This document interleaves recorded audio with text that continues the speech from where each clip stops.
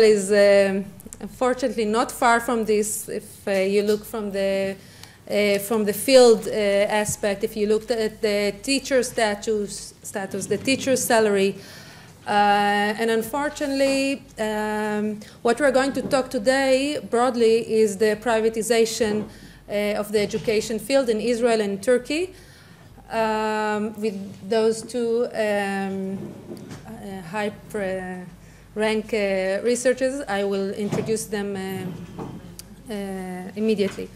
I'll tell you about myself a little bit. Uh, I'm the head of uh, the Direct Employment Coalition of Education. I'm a social activist and a con former contractor teacher myself. I have a second degree in education and uh, today I'm no longer a teacher but uh, I'm the head of a leadership center of a WIZO organization uh, and I work in the media uh, I bring uh, social issues every week uh, in the national TV in Israel.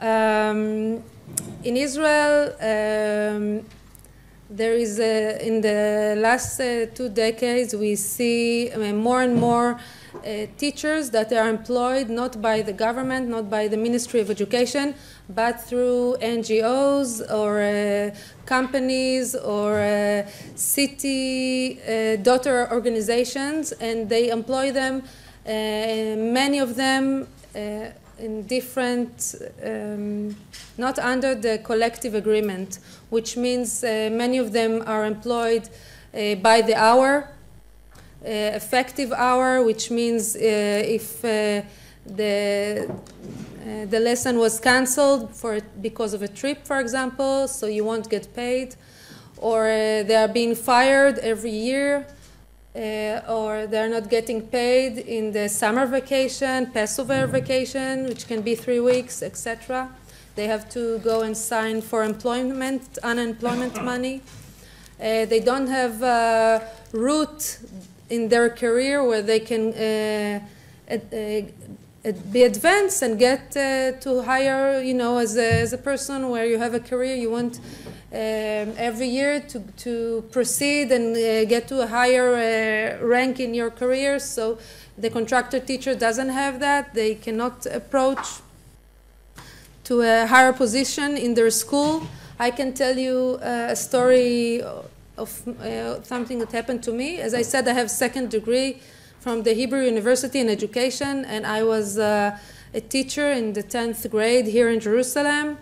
And one day I come into the uh, teacher's room, and there on the board there is a, a sign that says uh, we're looking for a vice, uh, ma vice manager for school, only for uh, teachers who are employed by the Ministry of Education which means that I, that I was a contractor teacher, couldn't approach to this, uh, uh, to this job in my working place, um, which may make you feel uh, second rate in your working place.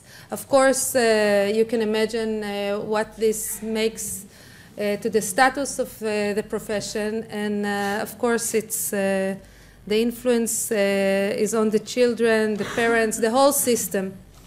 In Israel, there is a, um, there is a big problem with this profession of teaching.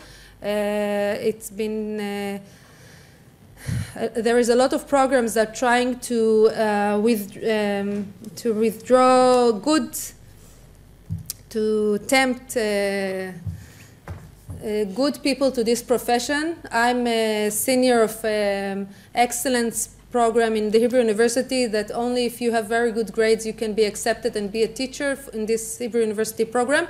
But then when you go to the field and teach, the reality slams uh, very hard. Um, now, uh, this uh, session is, uh, as we said, about privatization.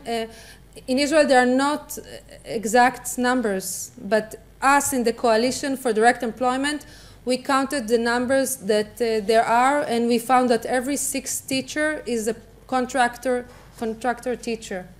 There are 24,000 contractor teachers, at least for, by our estimate, the Coalition for Direct Employment. Unfortunately, the government has no uh, data about that.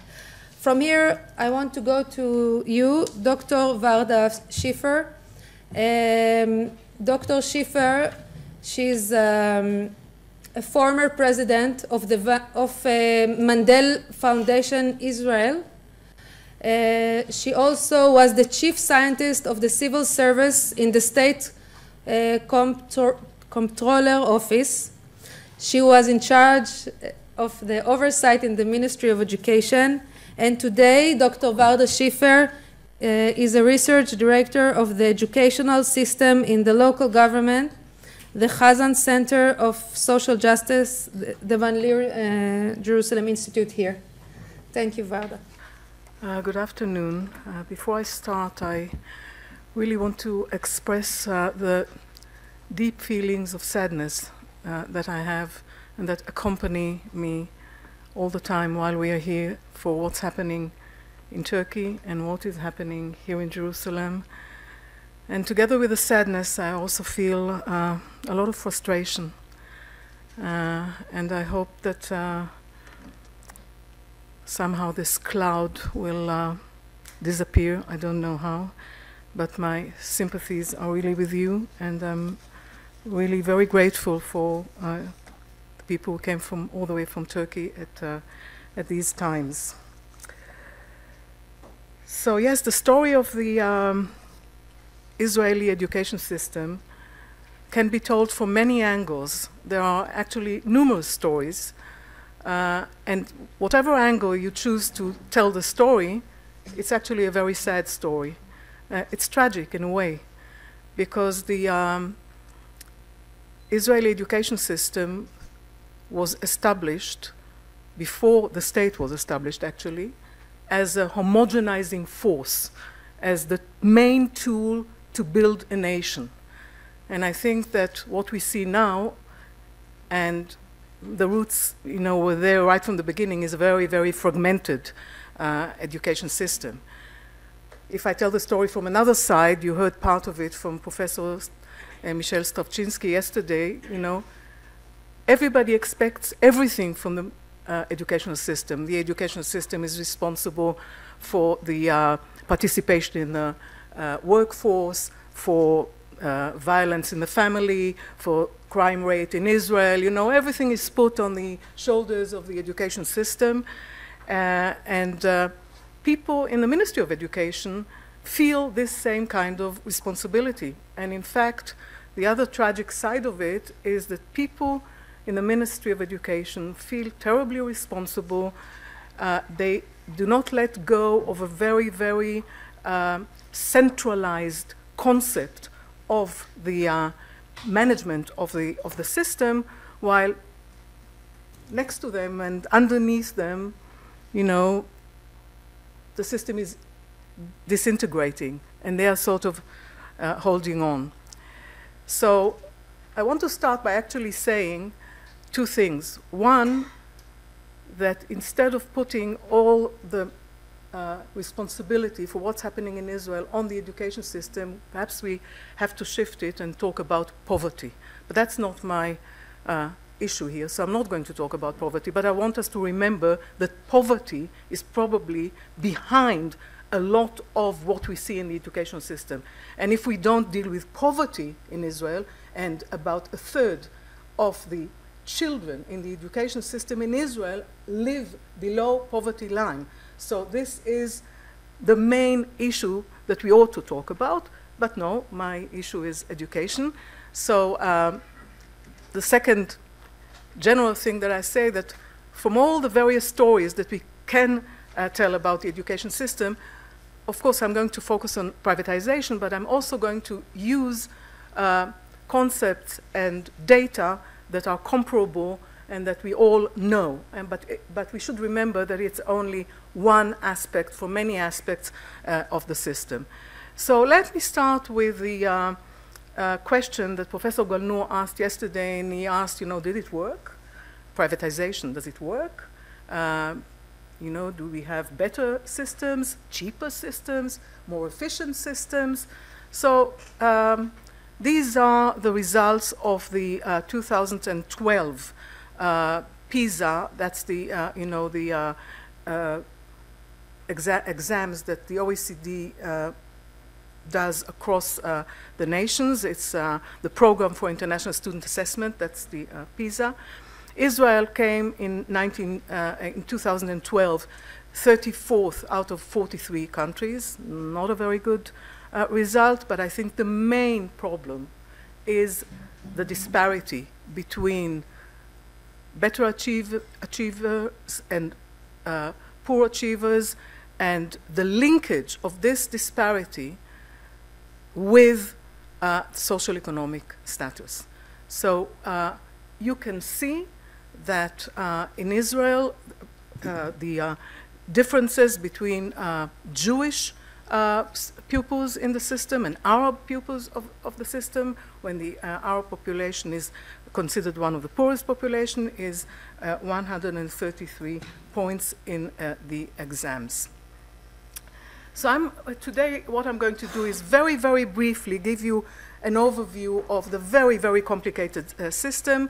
I'll start then with uh, the funding uh, issues uh, around uh, the funding of the education system and talk a little bit and the privatization that followed changes in the funding and the, the consequences, four major consequences that we see and we have data on uh, in the uh, education system. Uh, so I'll go back first. Let me just tell you very briefly uh, uh, a few things about uh, our system. The Israeli education system, as I said, was actually established before, before the state and took notice of needs of communities. Okay, so we had an ultra-orthodox education system for the Ashkenazi ultra-Orthodox, uh, Jews who came from Europe, uh, very, very religious, that was established during the Ottoman Empire. And with the very, very special allowances that the Ottoman Empire made for uh, community educational systems, meaning a very independent educational system. I'm saying that because that's how it is until today, and it's very difficult actually to renegotiate the system. So what we have today is in the early 50s, the government of the State of Israel tried to nationalize the system. As I said, the government saw it as a major homogenizing force and nation building force, so it needed to nationalize it. But what it did while nationalizing it was to leave, in fact, within the national, within the state national system, the public system, we have three uh, sections. We have the state non-religious section, the state religious section, and the Arab uh, section. An interesting point, these three come under what I will call the public education system. But it's important to notice that very, uh, a very unusual case in Israel is that the Arab uh, system is conducted in the Arabic language. Usually minority uh, school systems in other countries teach in the uh, uh, the major language. In Israel, the Arab system is being taught in Arabic. Also, because I'm sure the question will come, we are talking about uh, a population generally of about 22% of the population. In the education system, because of birth rate, the Arab pupils within the education system constitute about 24% of the, of the uh, uh, population of schools. So it's a sizable uh, uh group of, of people. That's the state system. So non-religious, national religious, and Arab. And now we have uh, two semi-private systems. So one is the original uh, Ashkenazi ultra-Orthodox system, which used to be completely independent, and I'll talk about it later. And from the 1980s, in fact from 1982, we have a Sephardic ultra-Orthodox uh, education system, which is growing very fast. And uh, so you understand already the first contradiction, right? a national homogenized force uh, uh, which uh, in fact takes into consideration the needs of communities uh, right from the beginning. So we have, we have an internal contradiction right there. The the ministry, as I said, the system, no. Is, is very, very centralized uh, in its concept. Local authorities don't have any role.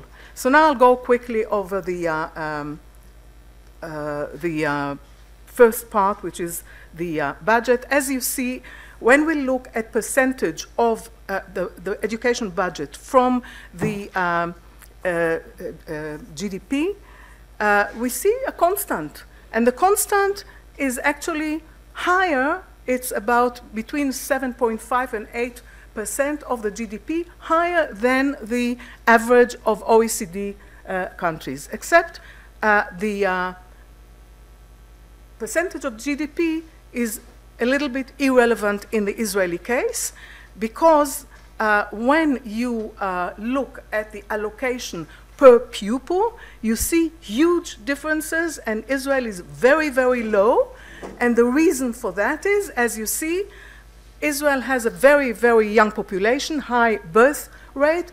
Uh, as a result of that, in uh, uh, the decade between 2000 and 2010, we have an increase in the number of, of pupils of 15%, while uh, average OECD is a decrease of 4%, all right? So that makes uh, a difference. But what I would say is that, all right, this is the situation. Also, I must say, the state is actually supporting and encouraging uh, larger families. So allocate more funds, right? It's not God-made shortage, but it is a shortage. All right, uh, so uh, of course the state is resorting to uh, uh, funding sources, to other funding sources, and this tells us uh, the in 2011, the um, national the, uh, expenditure of education uh, according to the funding um, sector. And uh, you see here, 23.7% uh, is households and what I call, I, I know the term was used here, NGOs. I prefer non-profit organizations, NPOs, because NGOs can sometimes be for-profit, and uh, I'm, I'm, going to talk about the uh, NPOs. All right, so you see 23%. What I can tell you is that when we look at the uh, sources of funding, Israel has a very high percentage of private uh, funding for education, higher than the uh, uh, average of uh, OECD. the private from the national, right? The national is includes private and public. The public part of the national expenditure in Israel is much lower than in the OECD. So now we are in a situation, and I'm only now beginning actually the privatization, we are in a situation of constant shortage of funds. And the Ministry of uh, Education, that's already in, the 80s, I must say in one sentence, in the 80s we had a major, major economic crisis. During the decade between 1980 and 1990, there was a 22% cut in education fu uh, funding. But everybody thought that this was a temporary kind of uh, situation and things will become better. So what does, what is the guiding principle of the Ministry of Education? It's an interesting guiding principle. We can discuss it afterwards. That's the idea that there is a core activity and there is a non-core activity, right?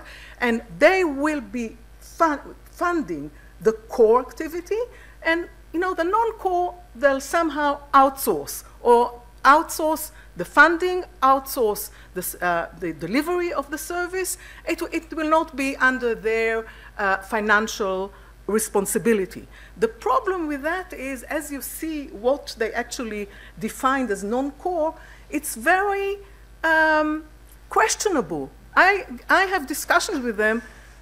about what is core and what is non-core, because I think a lot of these things that they decided were non-core are actually very core. And also, the other thing is that it shifts. So you can see, you know, one year this is core, the other year, year something else is core. So you can see already that we are going into a uh, blurring, as we, we discussed it yesterday also in, in, in, in the uh, health services, a complete blurring between the private and the public, and also an, uh, uh a lack of, of uh, you know, uh, understanding over time of what is happening because things are, are changing so constantly. So what I'm trying to say, in the 90s, we are already in a sort of a sliding slope which has not been planned. So you, the, the, policy is a lot of activities, some decisions, but a lot of contradictions between them, and you don't see, it's not a planned reform of privatization. No, if you ask the people in the Ministry of Education, they don't think they've privatized. They think, well, on the margins, we have privatized, but you know, the core issues we are still in full control. That's, that's the kind of uh, image that they uh, uh, project. So now in the 90s, I'm bringing that because it's another crisis. In the 90s, they issue a tender, actually, it's in a, in, a, in a framework of a tender, where it becomes clear that they are also dividing the content, the curriculum, into core and non-core. So now they're already inside the, the uh, curriculum, and they uh, declare or they, they uh, uh, define the enrichment, what they call the enrichment um, uh, subjects, uh, as subjects that can be outsourced to other, both the fin financing and the delivery, and it includes music, creative arts, environmental studies, and you know, as times go by, it's more and more, and again, you can uh, eventually, what happens today, and uh, the state controller has written about it, and the, the uh, representative is sitting here as well, that enrichment now includes uh, enrichment of mathematics, enrichment of English, you know, core activities. But I, I don't have time to say, uh, you know, what I would like to say, that it also represents a very, very neoliberal idea about what core uh, education actually means, because it, re it really centers on two issues, on the issue of uh, an education that will allow people to compete in the global economy, on the one hand, and issues of identity. And uh, it's a pity I don't have more, but bear it in mind because it did have uh, um, a tremendous uh, impact on, on, the, uh, on the system and on, on, on, the kids. So in the 1990s, after a decade of, of uh, budgetary cuts, and I just have to mention that 1989, we are beginning to receive uh, uh, a wave of immigrants from the former Soviet Union, as a result of which the uh, educational system in Israel grows by about 10%. It's a huge influx uh, of people. What we begin to see is parents from the middle class look around to see how they are going to bring back the enrichment to the curriculum of their children. And they were doing it in various ways, pay from their own you know, pocket, uh, and, uh, or encourage the uh, uh, local authorities to get involved and, and do something. And then the Ministry of education as a result, by the way, of a report by the uh, state controller uh, says, all right, we cannot leave the situation to go on like this. We have to regularize it somewhere. Meanwhile, this thing has been happening. So, uh, uh, you know, again, they are issuing a tender, and in fact, what they do is to uh, institutionalize uh, the whole privatization uh, of the, uh, the side of the uh, parents and local authorities paying for uh, the enrichment. So now what was perhaps looked at something which is temporary is now you, know, has become very, very uh, institutionalized. So by the 1990s, we have privatization of funding and privatization of delivery of educational services uh, full-fledged. Uh, so now four main consequences. First, uh, this is a long story by itself because what we have as a result of privatization of social services in general is a growth of our third sector, the sector of the nonprofit organizations. I just brought you uh, a few numbers. Of course, it's in proportion. The whole sector grew, but uh, the la latest uh, um, figures that we have, 2013, we have 7,059 organizations, nonprofit organizations dealing with education in Israel. They're spread all over the place. Some of them are foundations, some of them are deliver services. Most of them get money from the government in order to uh, deliver services uh, in school. So that's one thing. People may tell another story and say this is the flourishing of civil society in Israel. Civil society in Israel takes upon itself uh, uh roles in the area uh, of education as in, in other places. Um, here I have the figures of the national educational expenditure by the sector that operates it, right? And that's for 2013. And look at that. We said before that nonprofit organizations fund 23%, but they operate 39%. So 39% of the operation, of the delivery of services in the education system is done by non-profit organizations, not by the government. Okay, 23% is the local authorities, mostly funded by the government. The government is left with 29.4% uh, of actual delivery, which is a very, very low uh, um, figure. Okay, perhaps the most significant figure. The other figure I want to, to show you is the, uh, the other uh, consequence that we have here is the possibility of semi-private schools in Israel, right? It existed already because it, uh, it was there with the uh, uh, ultra-Orthodox uh, system. So now uh, it's growing. And look at that. Uh, the public official system, including, as I said, the non-religious, religious, and Arabs, decreasing from 88.1% in the late 80s to 74.2, and uh, as we said, people uh, forecast that if it continues like that, it will be less than 50%. So here we have this Ministry of Education, very centralized, losing, you know, its control uh, over the um, uh, system. Uh, I'll go here very fast. As I said, the 20.6% of the semi-private system is mostly the ultra-Orthodox uh, system, Ashkenazi, not Ashkenazi.